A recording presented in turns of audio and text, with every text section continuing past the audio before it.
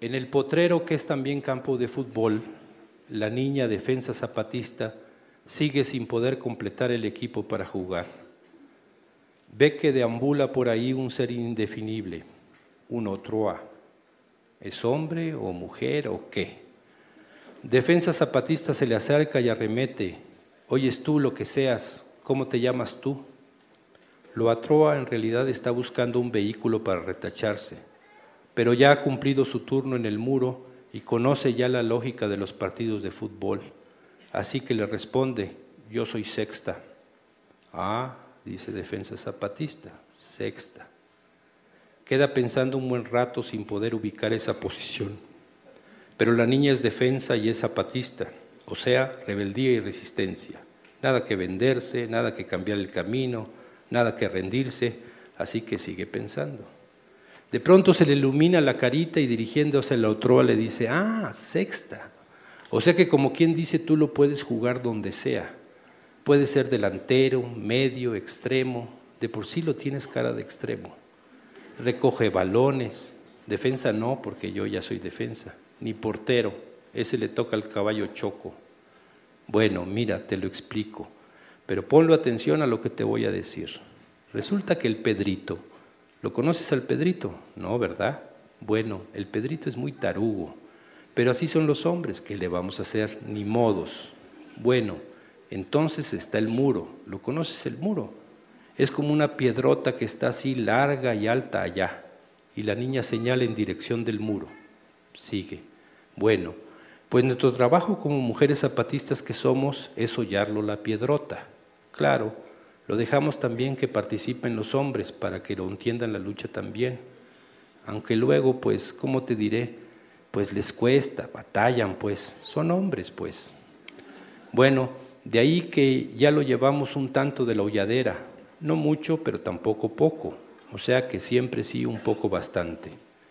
Bueno, de ahí que lo que yo quiero saber es que hay al otro lado. Bueno, de ahí que fui, pero no alcanzo todavía porque soy niña todavía. Entonces, de ahí que los junté unas piedras, pero como quiera no alcanzo a mirar. Pero si estiro mi mano, pues mi muñequito sí alcanza a mirar. Bueno, de ahí que el otro día yo lo recluté uno que es recoge balones, pero como quiera no está cabal el equipo. Bueno, de ahí que llegó el Pedrito y me dijo que no alcanza a ver el agujero. No, el agujero es otro. Este que hacemos en colectivo como mujeres que somos, aunque siempre sí lo dejamos que participen un poco los hombres, para que se aprendan pues de los trabajos, ¿qué tal de repente se va a necesitar que saben y luego así, y luego sale que no saben, ¿verdad? Bueno, de ahí que ese se llama agujero. Bueno, de ahí que el Pedrito llega como quien dice a presumirse el maldito, que él cuando crezca sí va a mirar lo que hay al otro lado del muro. Bueno, de ahí que yo que yo, como quien dice, que me encabroné. No mucho, pero siempre un poco bastante. Entonces le dije que mi muñequito me había contado lo que hay.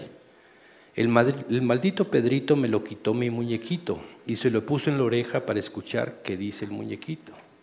Bueno, de ahí que el Pedrito es muy tarugo, ni modo, así llegó, es hombre, pues no entiende. Bueno, de ahí que el Pedrito no sabe que los muñequitos acaso hablan, eso es de niños. Bueno, entonces de ahí que de balde está queriendo oír lo que dice el muñequito. Entonces yo le quité mi muñequito. Él no me quiere dar luego. Entonces pues tuve que poner mi cara de defensa zapatista, así. La niña pone cara de, si no quieres morir, regrésame mi muñequito. Bueno, de ahí que al Pedrito le entró su miedo y me lo regresó muy muñequito.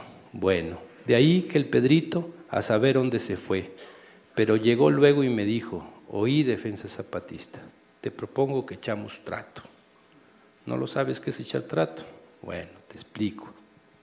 Cuando echas trato es como quien dice que das y te dan, pero no patadas como en el partido de fútbol, sino que cosas buenas que sirven para la lucha, pues.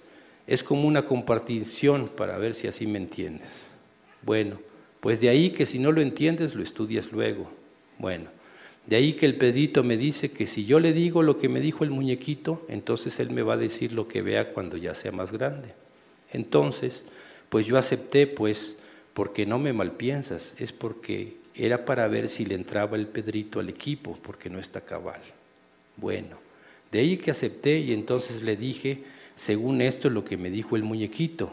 Y es que lo miró una casa grande, pero grande, muy bonitilla de por sí la casa, con muchas flores y muchos colores y muchas ventanas. Y en la puerta de la casa hay un letrero que dice, aquí mandan las mujeres y los hombres obedecen. Bueno, de ahí que el Pedrito, como quien dice, que se embraveció y no estuvo de acuerdo. Y de ahí dijo que no hay trato. Pero yo ya lo sé que de por sí es un modo de los hombres, que se comprometen y luego a volar cuervos que te sacarán los ojos. Bueno, de ahí que mucho lo regañé al Pedrito y como quien dice que le di su clase política. Bueno, ahí también que le di unos apes, pero no como quien dice pero no porque se rajó del trato, sino por tarugo, que anda creyendo que los muñequitos hablan. Si bien lo sabemos como mujeres que somos, que los muñequitos no hablan, solo miran y escuchan.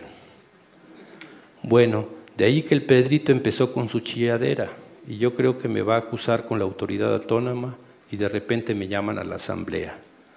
Pero no lo creas que tengo miedo porque lo conozco, que tenemos derechos como mujeres que somos. Bueno, de ahí que claro te digo que sí tengo delito, que es porque lo dije mentiras de lo que dijo el muñequito, pero es como quien dice una groma. Tú lo sabes que es una groma. Bueno, pues ¿dónde lo estudiaste tú la lucha, pues?